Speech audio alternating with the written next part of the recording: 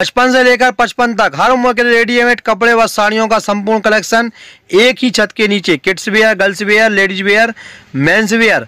Radha Kishan super marketing बूंदाबाऊ complex Damoh. बाज़ार से कम कीमत पर उपलब्ध। गद्दे चादर पर्दे डोरमेट सोफे की गद्दी व कवर।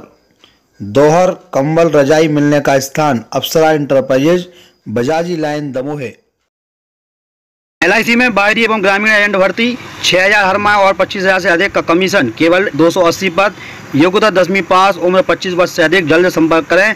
आशीष जैन, भर्ती अधिकारी। मोबाइल नंबर नब्बे, नौ सौ अस्सी, तेरह, दो सौ उनहत्तर।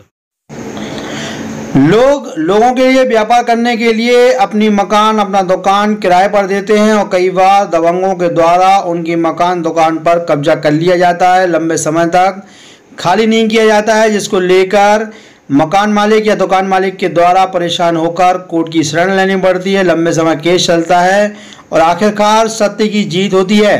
ऐसा ही मामला दमोह ज़िले में एक देखने को मिला जहाँ पर राजा अग्रवाल, जिनकी दमोह के बस स्टैंड रोड पर बिल्डिंग थी, जिसे दीपसन बिहार को उनके द्वारा किराए पर दिया गया था, जिन पर बिल्लू वाधवा नाम के व्यक्ति के द्वारा पहले किराए पर ली गई थी, बाद में कब्जा कर लिया गया था, जिसको लेकर 2013 से लगातार राजा अग्रवाल के द्वारा न्यायालय की शरण ली गई। न्यायालय में केस चला और आखिरकार हाईकोर्ट से उन्हें इस केस में विजय प्राप्त हुई, जिसके बाद हाईकोर्ट के आदेश पर आज न्यायालय के द्वारा राजा अग्रवाल परिवार को राजा अग्रवाल को न्याय देते हुए इस अवैध रूप से कब्जे की हुई दुकान और बिल्डिंग को राजा अग्रवाल के सुपुर्द किया गया। न्यायालय के लोग यहाँ पहुँचे, जहाँ पर न्यायालय की देखरेख में दुकान से कब्जा हटाकर ताले तोड़कर राजा अग्रवाल के सुपुर्द की गई, जिसको लेकर राजा अग्रवाल के पुत्र अजीत अग्रवाल के द्वारा जानकारी देते हुए क्या कुछ कहा गया, आइए सुनते हैं।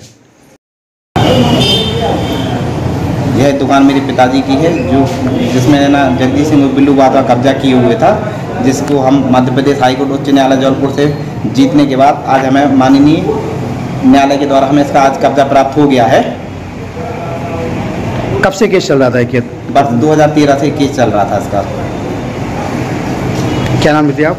अजीत कुमार अग्रवाल पिता राजेंद्र कुमार अग्रवाल।